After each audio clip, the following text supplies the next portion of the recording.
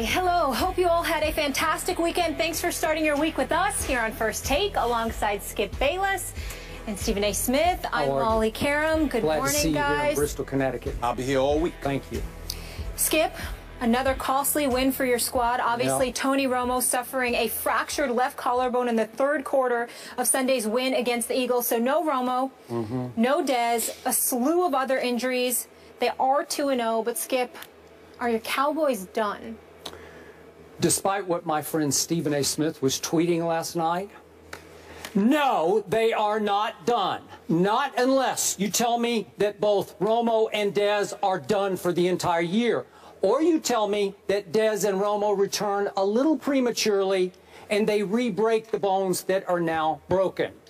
But Stephen A. Smith, if the best case happens, if Romo and Dez both return and remain 100%, you better believe this football team can get to the Super Bowl because if they return healthy, the NFC is going to have hell to pay. So let's talk about what happens in the interim. I still have the best offensive line in all of pro football. And by the way, most people don't get this, but Ronald Leary, my starting left guard, could not play yesterday. So he should be back with a pulled groin by next week. Yeah. And my defense remains underrated because it keeps battling its tail off for Rod Marinelli. And what it pulled off yesterday against the Eagles in your town in Philadelphia was nothing short of quietly spectacular. So let's just talk about this. All my Cowboys need to do is win the NFC East because if you win the East, and by the way, they already have two huge division wins. The NFC East title gives you a ticket into the playoffs, even if you have to play on the road. What have my Cowboys now done, Mr. Smith? They have won 10 straight regular season road games. Franchise record. That's unbelievable to me. 10 straight on the road. Mm. And they have beaten Chip Kelly all three times in Philadelphia that Chip has coached in Philadelphia. Really? That's unbelievable. This team, as I keep trying to remind you, loves to play and to win on the road. So would I bet against them in road playoff games? Should they have won at Green Bay last year? Because we know that was a you know what? That was a you know what. So let's get back to even if Dez and Romo are gone for seven or eight games. Can my Dallas Cowboys win the East? Absolutely, because maybe you can correct me on this, but I don't see their three division rivals, any of those three, running away with the NFC East. Listen, your Giants are not 0 2 awful. The Eagles are not 0 2 awful. They will both make a little noise. They will both have their moments. Hey, the Redskins are not bad. They've already had their moment, but they still have Kirk Cousins at quarterback, which is why I don't fear long term the Washington Redskins. So let me let me just go to if if my Cowboys with Brandon Weeden at quarterback, who by the way very quietly went seven for his his seven that he threw in that game mm-hmm. yesterday, seven for 7 mm-hmm. And remember, this is his second year in the system, and he made a big point last night. This is the first time since seventh grade that he's had the same offensive coordinator for two straight years. So he's far more comfortable in this system now than he used to be. Yep. So what if my Cowboys, who who have some guts and fight in them that is mm. is becoming special, what if they pull off a win against Atlanta at home? What if they go to New Orleans, where Jameis Winston won yesterday, and beat Drew Brees to get to 4 0? Guess what happens then? Here comes Greg Hardy. Here comes Rolando McClain. Maybe, maybe here comes back Randy Gregory from his high ankle sprain. Mm-hmm. You don't think that defense is just going to get a little, little, little stronger, but stronger, but stronger? They will. So, do I think they're done? No, they're not done because they still can win the NFC East. Thank you very much. Skip Bayless. Um, let me start off the show by giving you kudos because for the second consecutive year, you're absolutely right. The Dallas Cowboys are going to win the NFC East. The Eagles once again have let me down. I'm done. Oh, you, you're I'm you're writing it off. I'm writing the Eagles Woo-hoo. off. I'm writing the Eagles off, and I'll get to that in a Wow. second. Uh, they just look pathetic. I can't believe how awful they have looked yesterday. The Dallas Cowboys looked sensational defensively. When I imagine the fact that they don't have Scandrick, that they don't have, you know, uh, uh, you know, Randy Gregory, okay, that they don't have Greg Hardy, that they don't have Rolando McClain, and I look at what that defense was able to do yesterday. It's very impressive. There's no question about it. And when you imagine Dez Bryant and Tony Romo, it's clearly it's it's understandable why they were your Super Bowl picks. The Philadelphia Eagles are an entirely different story. The Philadelphia Eagles had 17 yards rushing yesterday.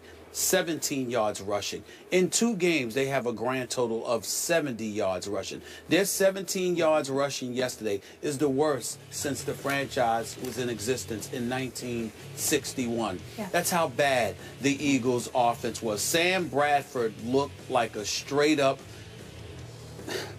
I'm not going to even call him names. What I'm going to say is he looked pathetically weak. He looked petrified. Mm -hmm. He looked in over his head like a deer caught in headlights the offensive line, whether it was Kelce, whether it was Gardner, whether it was this dude Barber or whomever, mm. the Eagles' offensive line is a shell of itself, and Chip Kelly looks like no genius. You got rid of Evan Mathis, who's now in Denver. This was an 11-year veteran and an All-Pro at your left mm. tackle spot. You see where that's got you.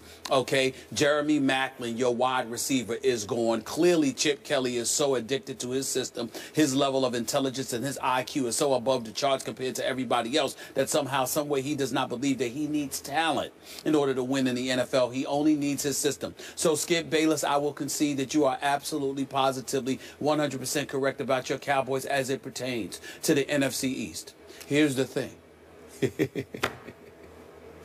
Here we go again with I, waiting I was not measuring the Dallas Cowboys according to the NFC East. Sure, I picked the Eagles. Sure, I thought that they would do some damage because of their offense. Sure, I was wrong about that. I'm wrong about quite a few things. I don't pretend to be infallible, nor do I tend to, nor do I pretend to be perfect. What I pretend to be which is not pretentious at all, is accuracy as it pertains to the Dallas Cowboys overall. And what do go. I consistently, consistently say? At some point, at some point in time, the Dallas Cowboys, just like Jay Cutler, they won't let you down. Just be patient.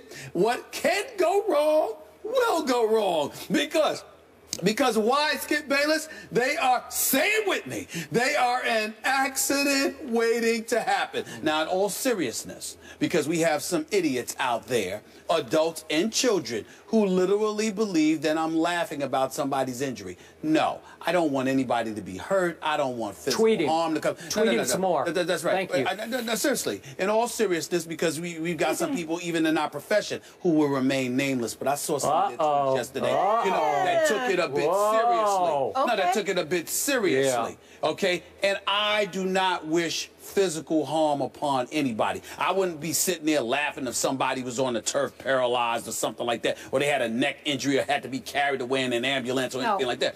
Injuries come with the game of football. As long as from a health standpoint you're ultimately okay, all right, and you don't have your career shattered or anything like that.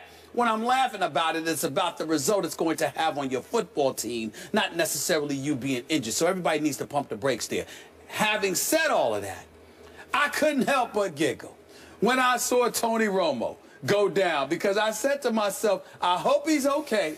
But I looked at Jerry Jones, who looked like he was on the verge of being taken to the hospital himself because of how depressed he looked, okay? You looked at the Dallas Cowboys season just flashing before their very eyes. I imagined and, and, and, and reminisced about my man Skip Bayless saying mm-hmm. that I'm not just picking the Dallas Cowboys to win the NFC East, I'm picking the Dallas Cowboys to win the NFC. I'm picking the Dallas Cowboys to represent the NFC in the Super Bowl, and I couldn't help but laugh because yet again, what did I tell you? The Dallas Cowboys, I believe, like you, they have the best receiver in football because I'm now ready to put Dez Bryant over Charles Johnson because Megatron just doesn't seem to be Megatron. I think he's taking a bit too many hits in his career. Calvin Johnson. I'm looking yeah, at Calvin Johnson, yeah, yeah, Megatron. Calvin Johnson. I'm looking at Tony Romo. Got we it. know he's a big time quarterback. We know what stats he can put up. But when the moment arrives, what's going to happen? I'm looking at their running game, which is virtually non existent as far as I'm concerned. That defense, led by Rod Marinelli, mm -hmm. looks like it could potentially be big time. Mm -hmm. There's no question about it. Yep. But the absence of Tony Romo in combo with Dez Bryant for at least eight weeks, I think it's safe to say this is what's going to happen. The NFC East is, is a wash because all the Dallas Cowboys have to do is play 500 football the rest of the way, and they got the division. Because I think nine wins are going to deliver you the NFC East. But is it going to deliver you home field advantage? No, against I, I the, don't need it. No, no, wait I don't minute, need it. Against the They Green travel. Bay Packers? Against the They can win Arizona at Green Bay. Cardinals, They can definitely against win at the Seattle Arizona. They can absolutely I- win at no, no, I'm not saying Dallas has the talent to win anywhere. They also have the mindset. And not only that, and they win better. They play better on the road to me than they do at home. No doubt. I'm simply saying to you that all of the stuff that transpired yesterday, all of the stuff that happened over the Dallas Cowboys over the last two weeks, mm-hmm. lent itself towards my position, which is this. At some point in time, something will go wrong with this team. I don't know what it is. I don't know what it is. It, it, it, it could be a tra- it could be it could be a traffic jam going to, to going to Texas Stadium for crying out loud. It could be food poisoning for one particular game. It could be somebody I, I don't know. All I know is that it never ever fails. Mm-hmm. And that is what made me giggle. Because this is nothing more. Don't think for one second that this is the last thing that's going to happen to the Cowboys. You can book it. Uh, Something's going to happen with A Dez lot of good stuff is about to happen. Something's going to happen with mm-hmm. Dez Bryant's injury. Something's going to happen with Tony Romo's injury. Mm-hmm. It's going to get prolonged somehow, some way. Something's going to get in the way. Because this is what it is, Skip. They are not meant to win. Their time has come. Their time is gone, and regardless of what happened yesterday, regardless of their victory, more harm than good was was brought to the Dallas Cowboys, even in victory, and that is what it it, it just. Without their big three from last year, they still got it done. The just- Eagles just- might be more laughable right what? So what? No, the Eagles are a joke. The Eagles are a joke. That's a, that the, the difference between the Eagles and the Cowboys is that the Eagles are nothing to laugh about. And we're gonna because get the into that Cowboys in a are minute. talented. Mm-hmm. The Eagles, they look soft. They look ill prepared. save that for a We'll second. Save that. That's all it is. I've been trying to get this through your head. My Cowboys are now an accident waiting to unhappen. Oh, really? Because watch what's about to happen. If Romo and Dez do get back in, let's say, eight weeks, best case scenario, Mm-hmm.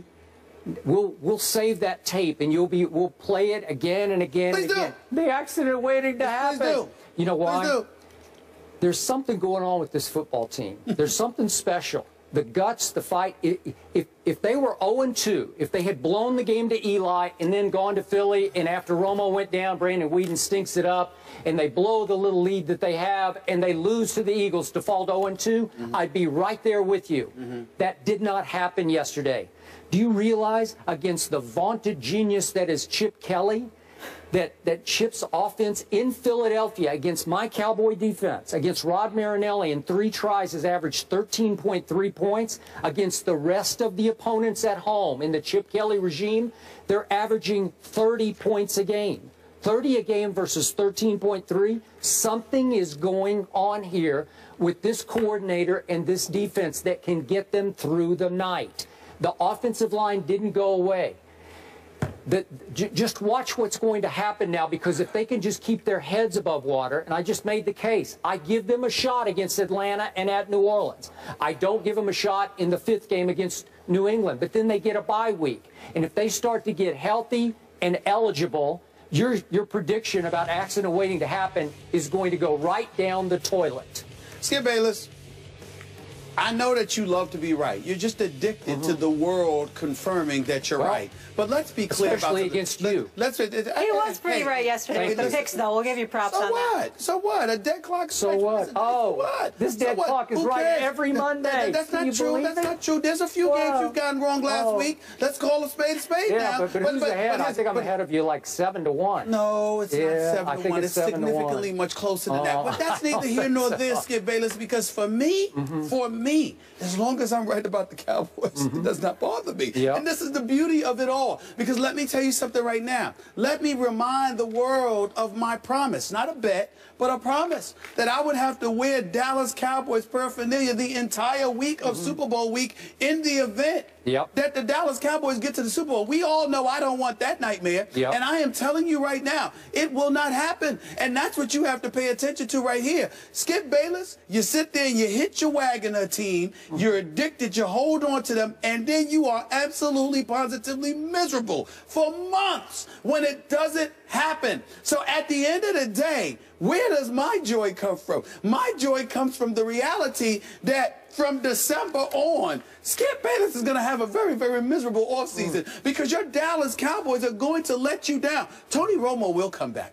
Dez Bryant will come back. And I promise you, something else will happen because it's already been ruined. They ain't getting home field. It's already, and even though they perform well on the road, that? they're not getting home field. You can cancel that. There's no way on earth that the Dallas Cowboys getting home field advantage in, come playoff time with, with, with, them being gone for eight to ten weeks. Tony Romo and Dez Bryant. It's just not going to happen. Brandon Weeden is going to lead you mm -hmm. to victory. Come on now. It's just not going to happen. I mean, he's going to win a couple of games now. Mm -hmm. They ain't going to completely wet the bed.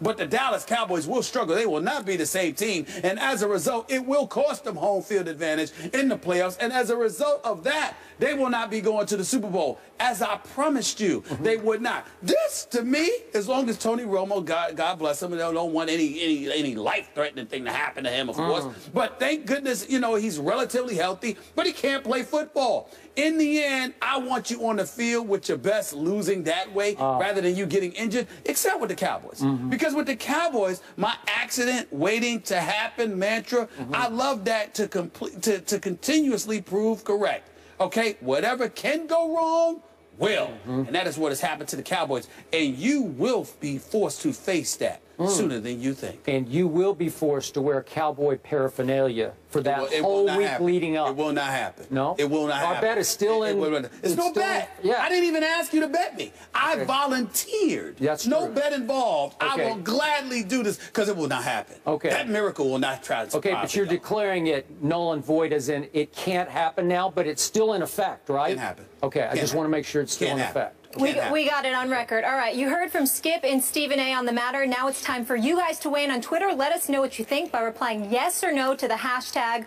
losing Romo.